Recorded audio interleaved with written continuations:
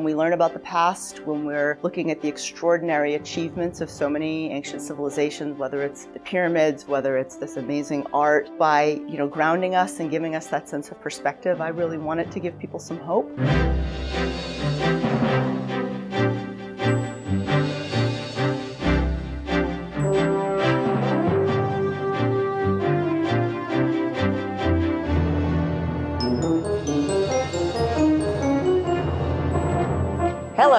I'm Bonnie Erbe. Welcome to To the Contrary, this week, Space Archaeology. I'm joined by Sarah Parcak, an archaeologist, Egyptologist, and professor at the University of Alabama at Birmingham.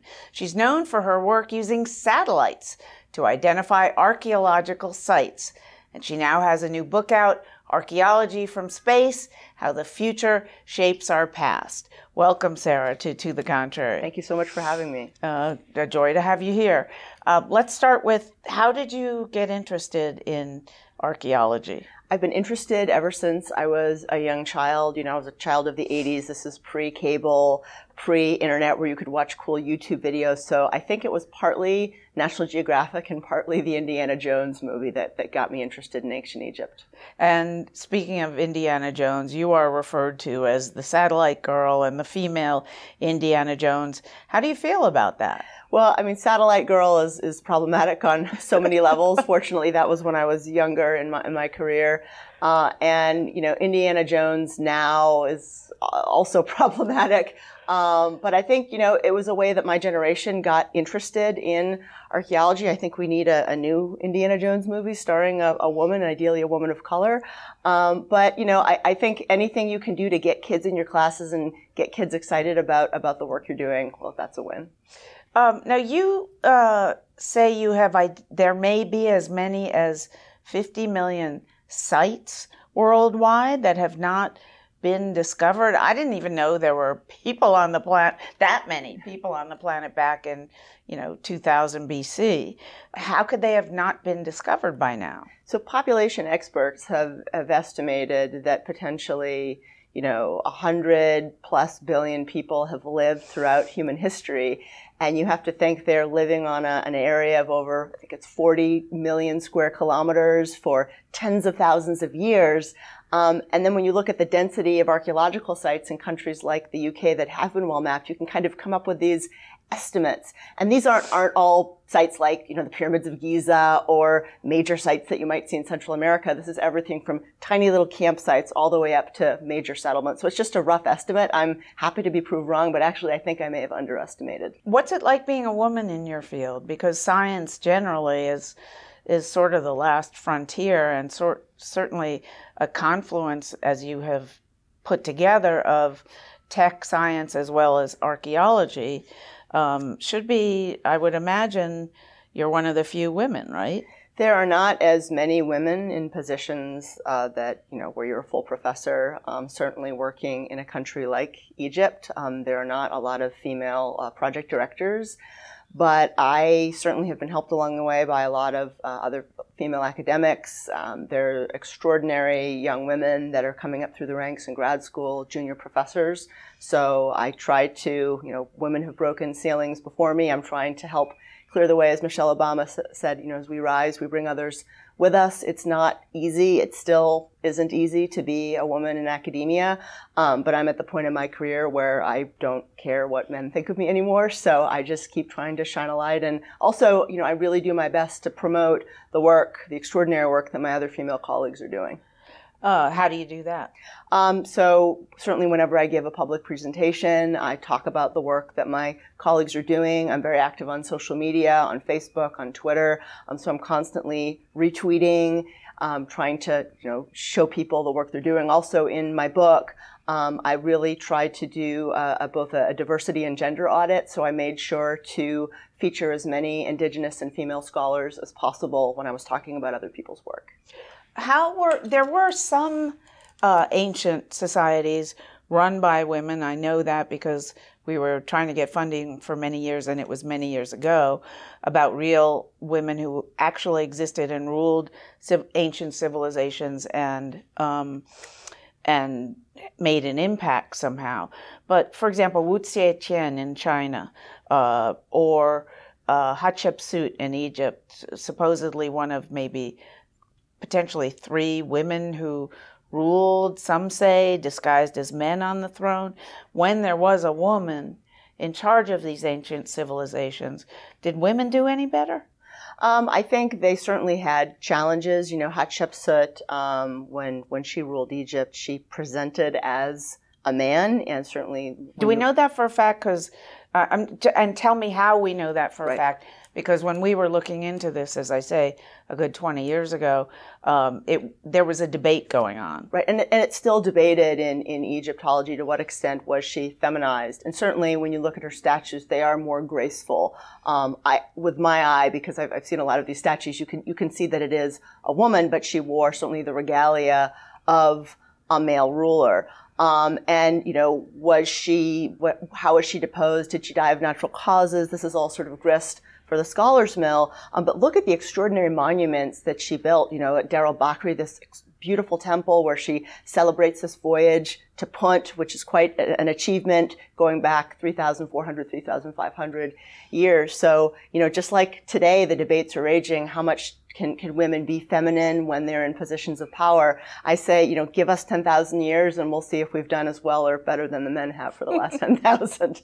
And as I recall, she elevated the position of priestesses in her religion, correct? Am I well? So, um, so we know certainly in in the New Kingdom um, there there was a group of women called the Chantresses of Amun um, so we, we do know of um, you know of women that were in charge um, or certainly had important roles as singers in temples. Um, women in ancient Egypt were known as mistresses of the house, and lest we think you know these women were just housebound and didn't do anything, many women were in charge of household accounts, and in some cases we have inscriptions or, or letters. You know we know the women were literate and they were helping to run the household businesses or the businesses of their families while their husbands were gone. And while we're there for a second, Sarah let's pause because in 1994, executive producer Carrie Stein and I were in Egypt covering the UN conference on population and development. And while we were there, we went down to Deir el-Bahri and we did a feature on Hatshepsut. Here's a piece of it.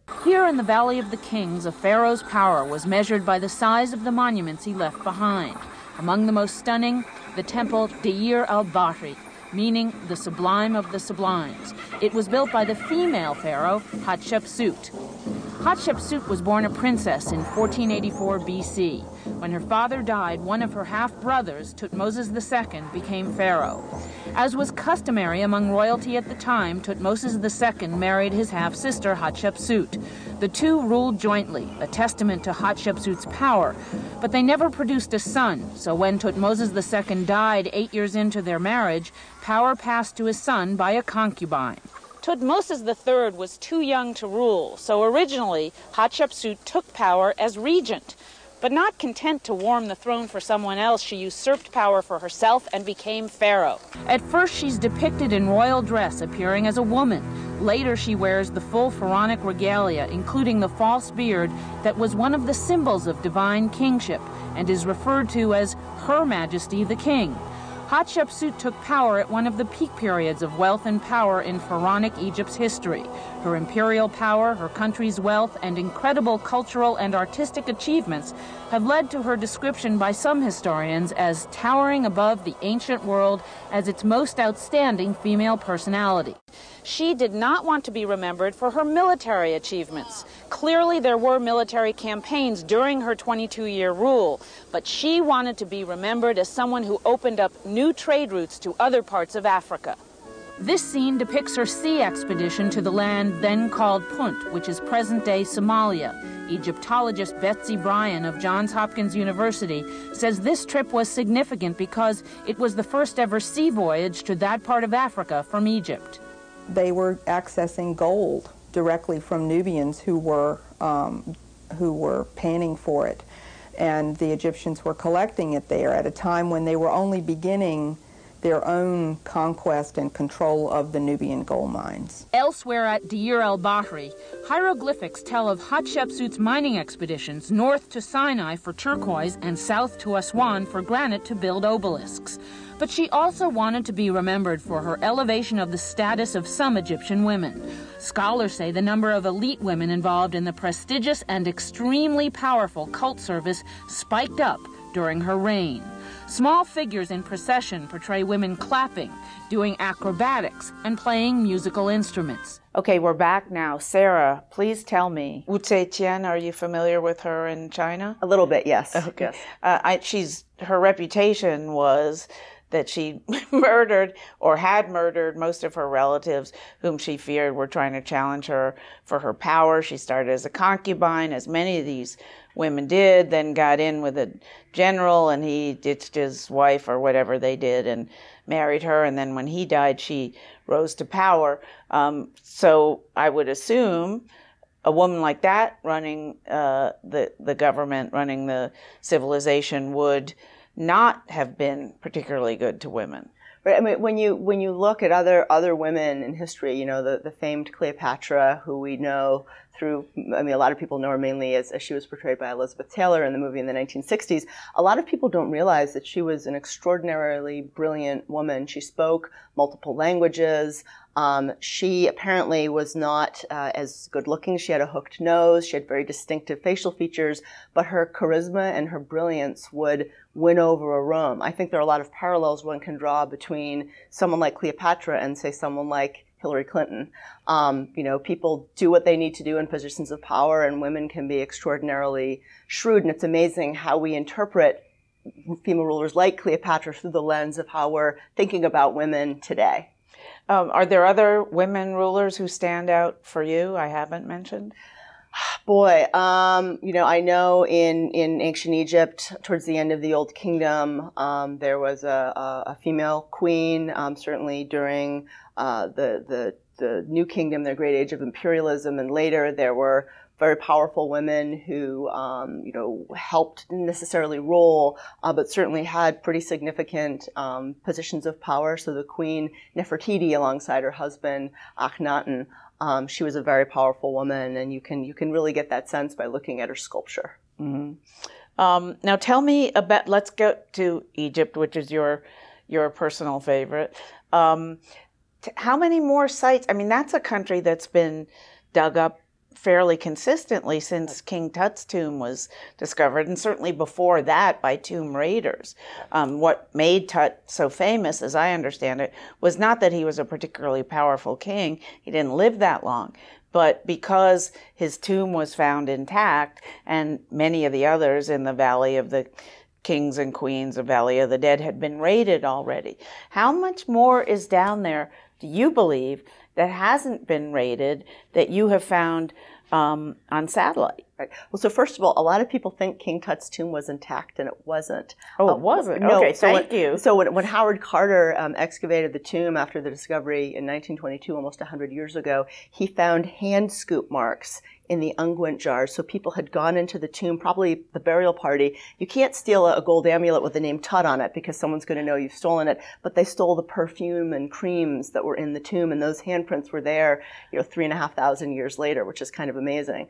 Um, I think you know, when you when you calculate the amount of, of area of sites that's been excavated, I have, this isn't a peer-reviewed publication, no one's disputed it yet, I calculated that even in the Egyptian Delta, we've only excavated one one-thousandth of one percent of the sites, and I've got the math to prove it. And when you add on top of that all the other archaeological sites that we still have to find, we see big announcements of discoveries all the time by the Ministry of Antiquities.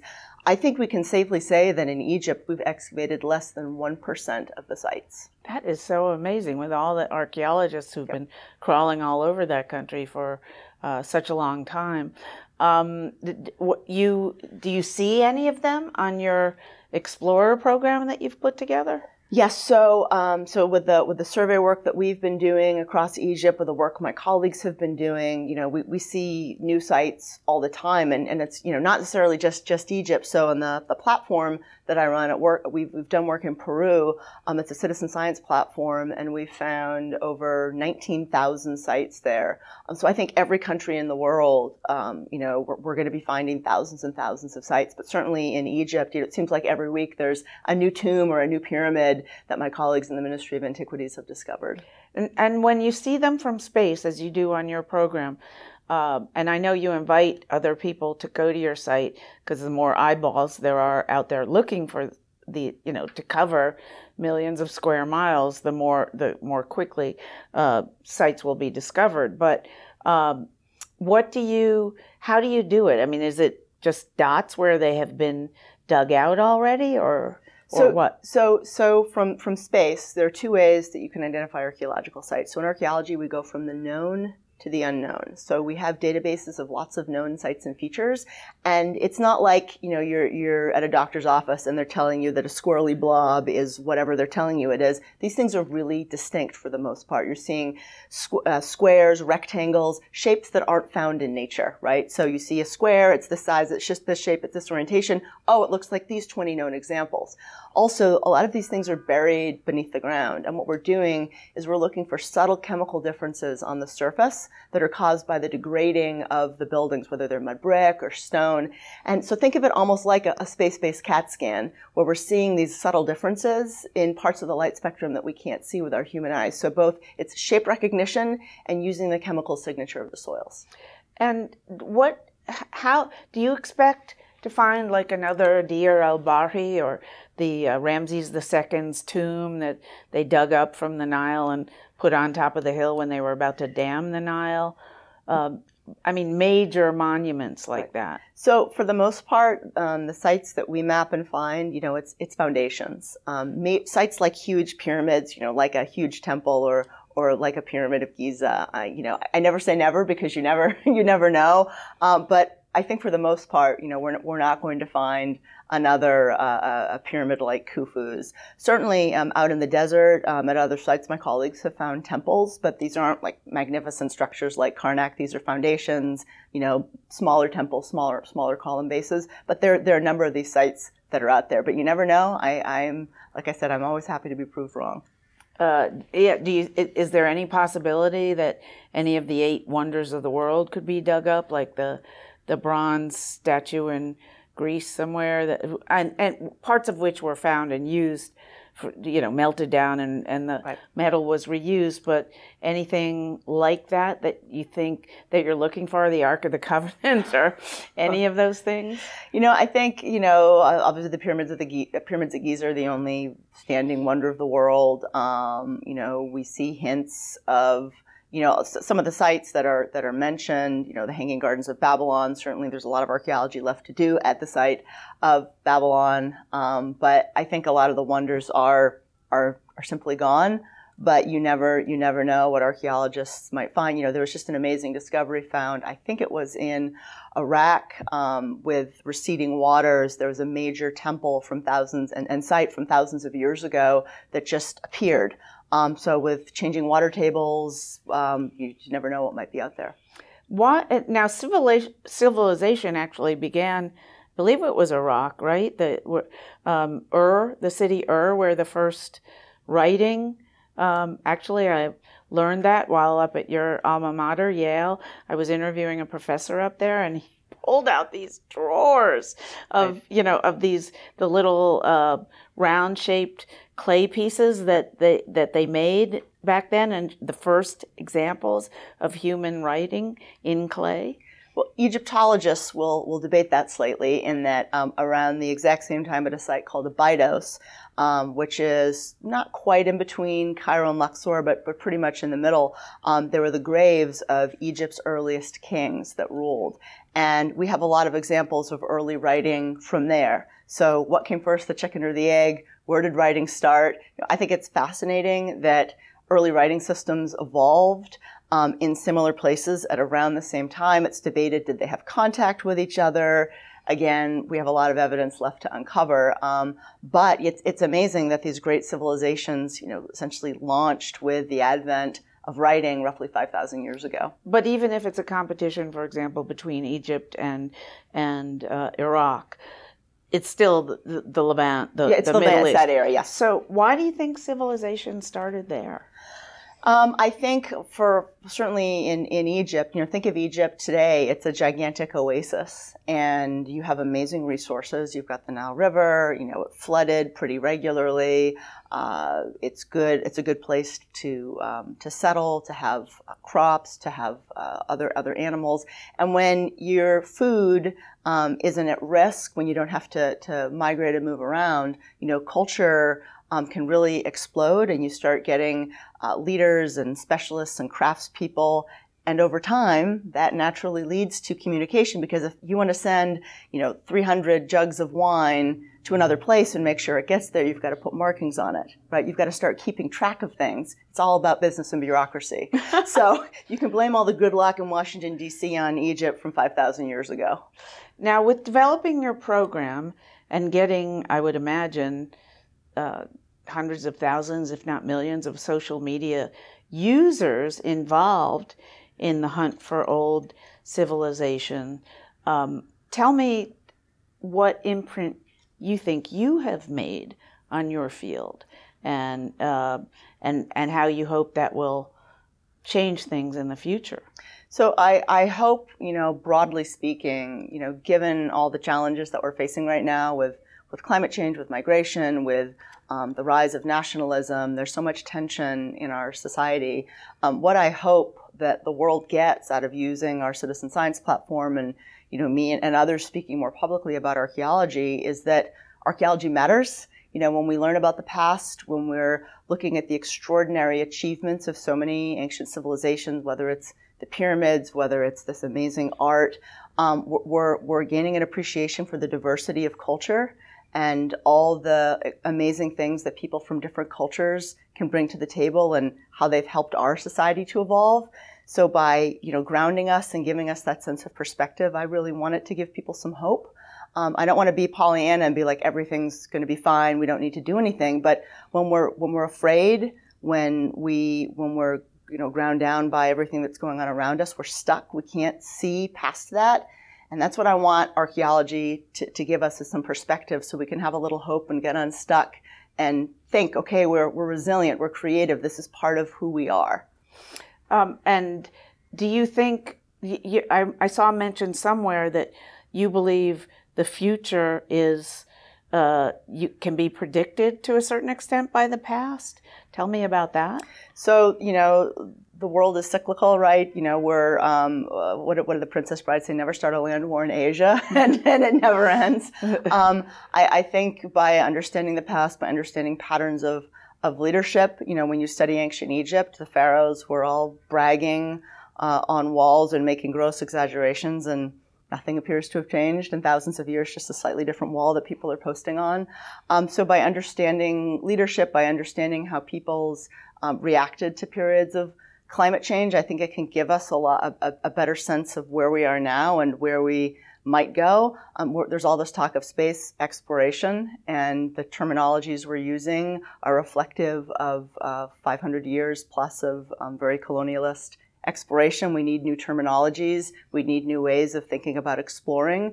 Um, so I'm hopeful that by studying archaeology and by creating new vocabularies, you know, we can think better about how we may explore not just here, but other worlds. Beyond what you just explained, what would you like to, uh, what kind of imprint would you like to make on the field? Discovering a major civilization, or uh, you tell me. I, I, think you know if, if, the impact that I can have um, on on the field and the world is getting countries and governments to invest more in cultural heritage. Um, you know, the cultural heritage, there's a big report that just came out and said it was something like an 80 or 100 billion dollar a year industry. For every dollar that's invested in heritage and archaeology, you know, it gets, re- gets returned tenfold or more.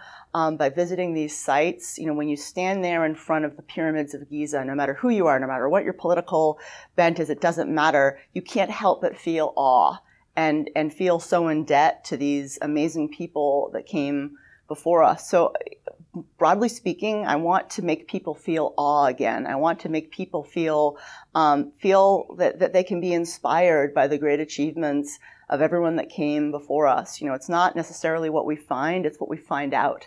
And what we find out is that we're the same people that lived in East Africa 300 years ago. We're still the same species. 300 thousand years ago. right. So, right. you know, in spite of our iPhones, in spite of our technology, um, we're, we're a community-based species, and I hope people, by understanding the past, can understand that, and maybe it'll help to bring us together a little bit more.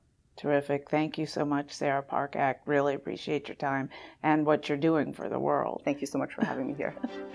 and that's it for this edition of To the Contrary. Please follow me on Twitter and visit our website, pbs.org slash to the contrary. And whether you agree or think to the contrary, see you next week.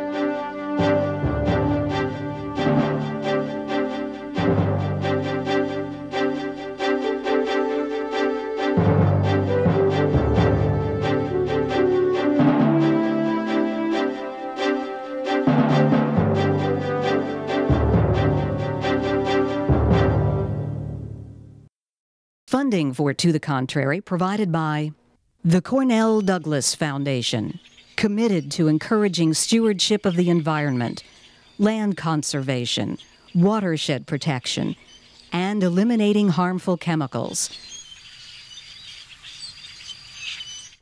Additional funding provided by the Wallace Genetic Foundation, the Colcom Foundation, and the Charles A. Frueauff Foundation. For a transcript or to see an online version of this episode of To the Contrary, please visit our PBS website at pbs.org forward slash To the Contrary. Be more. PBS.